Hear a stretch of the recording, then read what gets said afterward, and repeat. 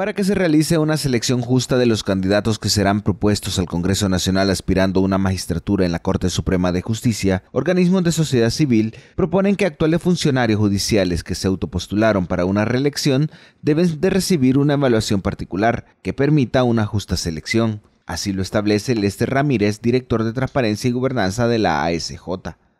Diseñe un mecanismo para evaluar una ficha de evaluación particular para el tipo de perfil que son estas personas, porque estas personas, como usted dice, eh, tienen eh, un desempeño, tienen un recorrido en los últimos siete años, tienen posiblemente, hay que revisar el trabajo de, la mora, cómo han gestionado sus, sus expedientes. El actual magistrado Edgardo Castro sostiene que su vida y profesión son intachables que cumple todos los requisitos de ley, por lo que se motivó a buscar la reelección a una judicatura observador de la conducta humana dentro de las normas de la dignidad humana, tanto en mi vida privada como en mi vida profesional. De tal manera que considero que lleno esos valores y eso pues me llama a intentar ser nuevamente de la Corte Suprema de Justicia, además que considero que tengo ya muchas iniciativas eh, planteadas al pleno de esta actual Corte Suprema que por razones de tiempo no van a ser analizadas.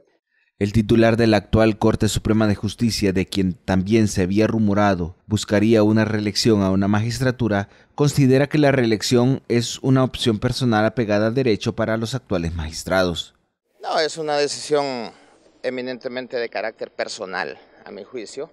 Entiendo que ellos han valorado cada una de las circunstancias que atañen a sus personas, a sus desempeños y han creído que tienen no solo los requisitos constitucionales, como ya se verificó en el proceso anterior, sino los méritos y la entereza necesaria para llevar a cabo en una nueva gestión, si la Junta Nominadora y el Congreso así lo deciden, sus actividades también como por segunda vez como magistrados de la Corte Suprema. En reiteradas ocasiones este tipo de acciones que solo buscan perpetuarse en el poder han sido criticadas por diversos organismos de sociedad civil. Tal es el caso del Consejo Nacional Anticorrupción, que a través de su directora ejecutiva Gabriela Castellanos lamenta la injerencia de los partidos políticos en esta selección. Sí creo también que tenemos un proceso débil y que precisamente los intereses desde el Congreso Nacional para que sus magistradas y sus magistrados queden este, conforme a componendas de partidos políticos y económicos, eso se puede dar. Los expertos han reiterado que se deben estar pendientes del accionar de la Junta Nominadora para saber cómo procederá en el caso de los actuales magistrados que buscan su segundo periodo. Desde Suyapa Medios y Notifide le invitamos a que juntos fomentemos una cultura de paz con imágenes de Amílcar Sánchez, les informó Eddie Romero.